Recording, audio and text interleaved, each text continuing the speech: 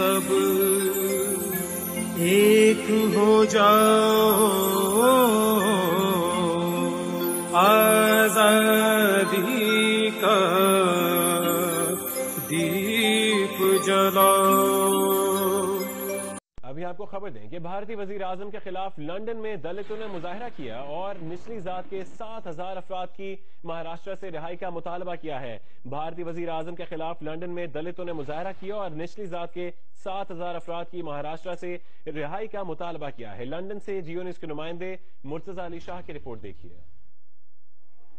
برطانیہ کی مختلف دالت تنظیموں نے برطانوی پارلیمنٹ سے انڈین ہائی کمیشن کی طرف مارچ کیا جس میں شدید سردی کے باوجود بڑی تعداد میں لوگوں نے حصہ لیا۔ اس مظاہرے کا مقصد مہاراشٹرا کے علاقے بیما کوریگن میں اس مہینے کے شروع میں دالت پر ریاستی جبر اور مظالم کے خلاف آواز بلند کرنا تھا۔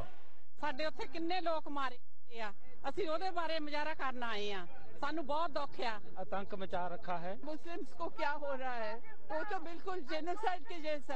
چل رہا ہے۔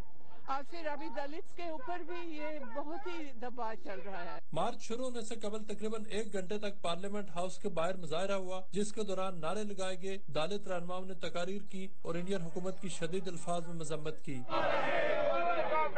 بیٹیاں دی عزت لٹی جا رہی ہے انہوں نے مرڈر ہو جا رہا ہے۔ مودی سرکار کو سوچنا چاہیے انجسٹس ہے انڈیا میں۔ مظاہرین نے کہا کہ نرندرہ موڈی کی حکومت نے انڈیا کا چہرہ بگاڑ کر رکھ دیا ہے اور انتاب سند گروپس کو کھلی چھٹی دے رکھی ہے۔ ڈیموکریسی کی بات سیکلوریزم کی بات کرتا ہے فریڈم آف سپیچ کی بات کرتا ہے اس کو خطرہ ہے۔ اس کو کہہ رہے ہیں کہ یہ لوگ انٹی نیشنل ہیں اور انٹی نیشنل نام کو یوز کر کر لوگوں کو دوایا جا رہا ہے۔ ہمارے سات ہزار نوجوان جیلوں میں ہیں جنہوں نے تشدد کیا وہ باہر گھوم رہے ہیں۔ ہندو لوگوں نے اٹیک کیا اور ہمارے لوگوں کو انہوں نے زخمی بھی کیا۔ انہوں نے کہا کہ انڈیا میں دالت مسلمانوں اور سکھوں کے خلاف مظالم کے پہاڑ توڑے جا رہے ہیں۔ لوگوں کو کھانے پر کنٹرول کیا جا رہا ہے پہننے پر کنٹرول کیا جا رہا ہے سوچنے پر کنٹرول کیا جا رہا ہے۔ باہر سے آئے ہوئے لوگ برہمن واد ہیں یہ برہمن کے باہر کے لوگ ہیں۔ Day by day the situation is getting very bad مظاہرین کا کہنا تھا کہ بی جے پی کی حکومت اپنے مقاصد کی خاطر اقلیتوں کو ہندوتوا گروپس کے ذریعے دبا رہی ہے۔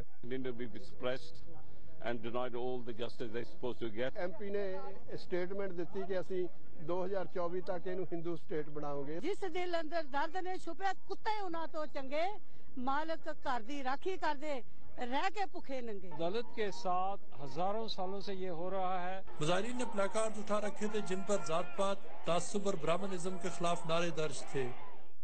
برطانیہ بھر سے آئی ہوئی دلت کمیونٹیز کا مطالبہ ہے کہ برطانوی حکومت اور مغربی دنیا مودی حکومت کی طرف سے دالتس اور دیگر اقلیتی کمیونٹیز کے خلاف ہونے والی سنگین انسانی حقوق کی خلاف ورزیوں کا نوٹس لے کیمرامین نصر احمد کے ساتھ مرتضی علی شاہ جیو نیوز لندن